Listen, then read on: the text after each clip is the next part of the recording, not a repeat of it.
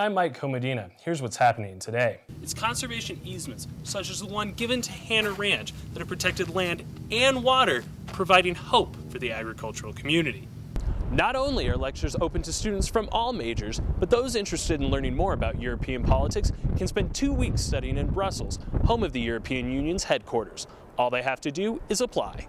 Steps towards fixing one of Boulder's most dangerous crosswalks may be starting next month. News Team's Daniel Kreuter tells us what Boulder transportation officials hope will become a permanent fix to a long-term problem. I don't know what it is about the Broncos. Every week they seem to get a lead and all of a sudden fall asleep. Today's game against the Jets proved to be no different. In light of the St. Patrick's Day murder of University of New Hampshire football player Todd Walker, the Colorado State parole system is being brought into question. In the past nine months, 10 convicted felons have been arrested on charges of attempted murder or murder, raising concern on the CU campus. Shock, disbelief, horror. Those were CU students' reactions to the murder on the Hill.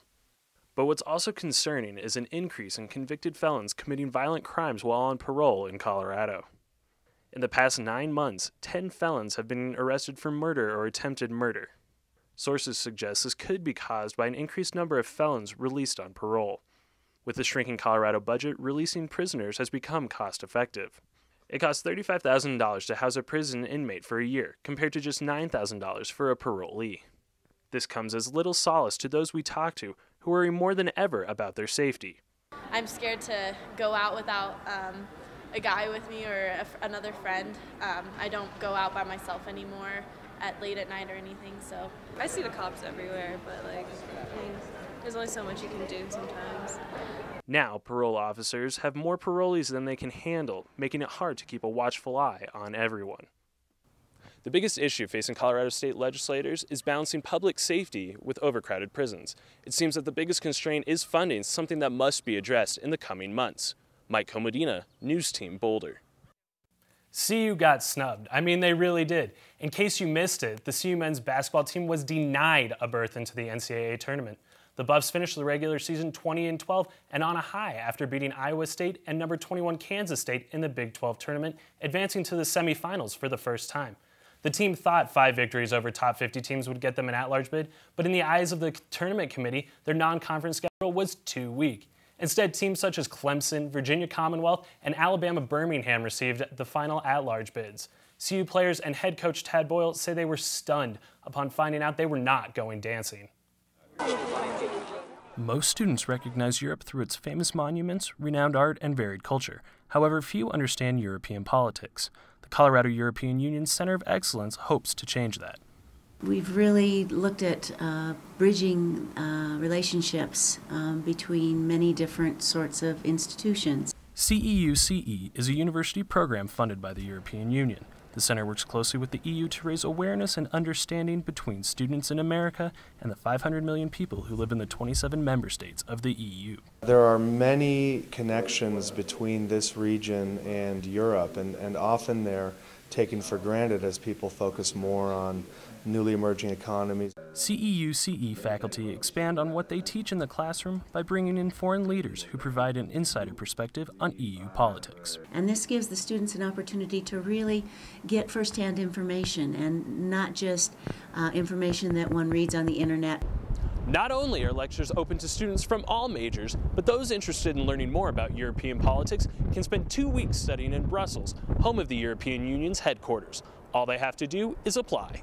Such an opportunity for college students to interact with members of the EU is rare. CEUCE is one of only 10 university programs in the country. It's a, a, lot of money, a lot of investment from the EU Commission, and it carries a lot of weight. The center has recently sponsored visits from the former president of the European Parliament and the German ambassador. Jupille says attracting visitors to CU is not hard. We respond to opportunities where high-level visitors may be coming to the area and we're able to uh, take advantage of their presence. And, and I think CU is a, is a big draw. For Martinez, these visits show that CEUCE is succeeding. The feedback has been extraordinary, and of course that makes us really happy and makes us look really good, and there's nothing wrong with that.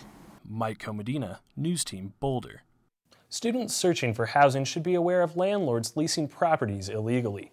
The City of Boulder requires all landlords to have rental licenses. However, Boulder officials believe several online advertisers are running into students without the proper credentials. In response, the City Council has created a part time pilot program aimed at rooting out unlicensed landlords. So, Kevin, I mean, the Rockies spent a lot of money in this offseason. You think they're in the running for Pujols? Uh, I don't think so, Mike. I mean, it would be nice to have him on the team, but I mean, we got Carlos Gonzalez and Troy Tulowitzki, so I think we'll be fine. All right, thanks, Kevin. Most 19 year olds won't shy away from throwing down against kids their own age.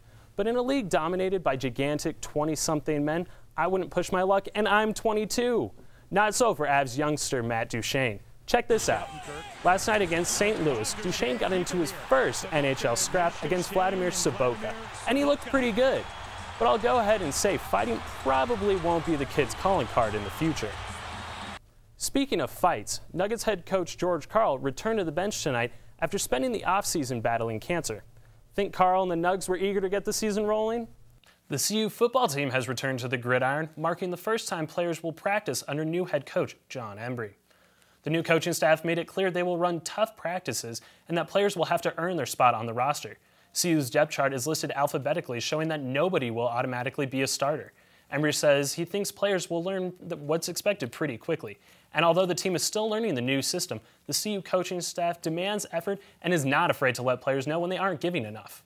The Buff spring practices are now closed to the public until April 2nd as the team prepares for the spring game on April 9th. Thanks for tuning in. Avs are at 5. We'll see you later.